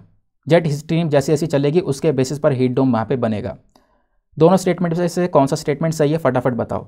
Option A one only option B two only option C दोनों सही हैं या फिर ऑप्शन डी दोनों के दोनों गलत हैं? चलो, आते हैं। चलो, ये तो आ गए हमारे सारे के सारे क्वेश्चंस समाप्त। अब फटाफट यहाँ पर आंसर्स को देखना स्टार्ट करते हैं। यहीं से लास्ट वाले क्वेश्चन से आंसर को देखेंगे। हीट डोम के बारे में अभी मैंने आपको पढ़ाया था और इसमें से बताओ कौन सा आंसर सही हो सकता है। स्टेटमेंट वन या स्टेटमेंट टू पहला स्टेटमेंट बोलता है कि लो प्रेशर जो है ना, ये हमारी गर्म हवा को यहाँ पे फंसा लेता है। ऐसा था क्या? ये ऐसा तो नहीं बोला था। मैंने बोला था हाई प्रेशर क्योंकि जो जेट स्ट्रीम्स ऊपर बहती हैं ना, वो जेट स्ट्रीम्स बेसिकली ठंडी हवा हैं। और वो क्या करती हैं? गर्म हवा को यहाँ पे ट्रैप कर लेती है, फंसा लेती हैं। तो क्या होता है? हाई प्रेशर यहाँ पर गर्म हवा को ट्रैप करता है। इस वजह से जो पहला स्टेटमेंट है, वो बेसिकली गलत है। दूसरा स्टेटमेंट सही है क्योंकि जेट स्ट्रीम के बिहेवियर के ऊपर, क्योंकि जेट स्ट्रीम जो वेव्स है ना, ये जब बड़ी हो जाती हैं, धीरे चलने लगती हैं तब यहाँ पर हीट डोम बनता है। तो इस वजह से यहाँ पर इसके बिहेवियर के ऊपर हीट डोम का फॉर्मेशन होता है। ये सही है। ऑप्शन नंबर टू आपका सही उत्तर देखने को मिल जाएगा।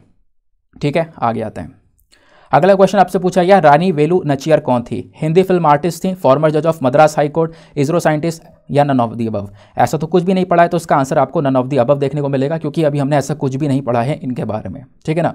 क्योंकि रिसेंटली यहाँ पर आप देख पाओगे, इनको हमारे प्राइम मिनिस्टर ने इनकी जो बर्थ एनिवर्सरी है, उस पर यहाँ पर एक जानकारी दी थी। बाकी यहाँ पर एक बीमारी है अफ्रीकन एनिमल के बारे में मैंने आपको बताया था अफ्रीकन एनिमल जो बीमारी है, ये किस चक्कर में होती है? ऑप्शन नंबर ए एक पैरासिटिक प्रोटोजुआ ट्राइपेनोसोम्स की वजह से होती है या फिर दूसरा स्टेटमेंट बोलता है कि ये बंदर के काटने से होती है। बताओ कौन सा स्टेटमेंट सही है? इसमें केवल और केवल पहला स्टेटमेंट सही है क्योंकि अभी हमने डिस्कस किया था ये बंदर के काटने की वजह से नहीं होती है ये एक फ्ली की, आ, की काटने की वजह से होती है। है ना? मैंने एक फ्लाई की वजह से जो सेट से फ्लाई है उसके काटने की वजह से होती है ये अभी हमने थोड़ी देर पहले पढ़ा था। इस वजह से यहाँ पर ये जो दूसरा स्टेटमेंट है वो हो जाएगा रॉन्ग बताते रहना आपने कितने क्वेश्चन सही किए हैं। फिर अगला क्वेश्चन आपसे पूछा गया था एशियन पैसिफिक पोस्टल यूनियन के रेफरेंस में। कौन सा स्टेटमेंट सही है? पहला, ये एक स्पेशलाइज एजेंसी यूनाइटेड नेशन की नहीं है।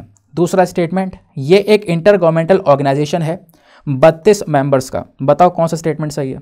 इसमें केवल और केवल सेकंड सही है। पहला गलत है। पहला इसलिए गलत है क्योंकि ये यूनाइटेड नेशन की स्पेशलाइज एजेंसी है और ये बात मैंने आपको स्टार्टिंग में ही बता दी थी।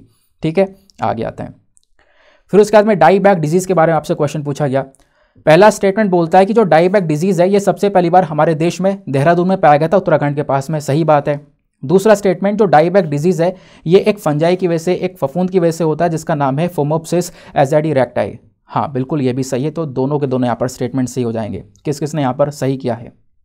आगे आते हैं। फिर उसके बाद में ब्लैक कार्बन के बारे में आपसे सवाल पूछा गया था। पहला स्टेटमेंट दिया गया था कि ब्लैक कार्बन प्रोड्यूस किया जा प्रोड्यूस होता है, बनता है, जब कोई फॉसिल फ्यूल आधा जलता है, उसकी वजह से। और ये बहुत सारी लाइट को एब्जॉर्ब कर लेता है। बिल्कुल सही बात है, हमने पढ़ा था अभी। फिर दूसरा स्टेटमेंट बोलता है कि ब्लैक कार्बन सबसे ज़्यादा जो प्रोड्यूस होता है, सबसे ज़्यादा जो एमिट होता है कहाँ से होता है? साउथ एशियन रीजन से होता है। ठीक है तो ये भी सही है। तो इस वजह से ऑप्शन नंबर सी जो है हमारा both one and two correct हो जाएगा।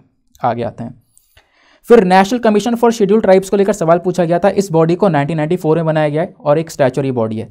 दोनों में से कौन सा सही है? दोनों के दोनों गलत हैं। क्योंकि एक बेसिकली कॉन्स्टिट्यूशनल बॉडी है, मैंने आपको बताया है, और इसको 1994 में नहीं 2004 में बनाया गया है। इस वजह से दोनों के दोनों स्टेटमेंट्स आपको रॉन्ग देखने को मिल जाएँगे। ठीक है? आगे आते हैं। फिर कालसा बंदूरी नाला प्रोजेक्ट कौन सी नदी के ऊपर है? तो ध्यान रखना, महादई नदी के ऊपर है। यह भी हमने थोड़ी देर पहले ही पूरा का पूरा जो डिस्प्यूट है, वो कवर किया है। देन अगला क्वेश्चन में डिस्कस किया था वर्ल्ड ब्रेल डे के बारे में। तो वर्ल्ड ब्रेल डे ऑब्ज़र्व किया जाता है हर साल चार जनवरी को। इस वजह से यहाँ पर ये आंसर आपका देखने को मिल जाएगा। चार जनवरी इज़ द करेक्ट आंसर तो ये था हमारा प्रीलिम्स रैपिड फायर का पूरा का पूरा क्वेश्चन सीरीज़ मज़ा आ गया। मज़ा आया तो नीचे कमेंट सेक्शन बता देना। बाकी आप लोग बताना कैसी तैयारी हुई आज की। तो आपने यहाँ पर करंट अफेयर भी पढ़ा, अपनी टेस्ट प्रैक्टिस भी कर ली है क्वेश्चन भी लगा लिए हैं तो इससे और ज़्यादा क्या चाहिए? ठीक है? बाकी आप लोग को बताना नीचे कमेंट सेक्शन में आपका स्कोर क्या रहा है, आपने कितने आंसर सही किए हैं। नाउ इसी के साथ में करते हैं हम लोग अपने लेक्चर को समाप्त और मिलते हैं आप लोगों से अगले वीडियो में। आज के लिए bye bye have a nice day thank you and जय हिंद।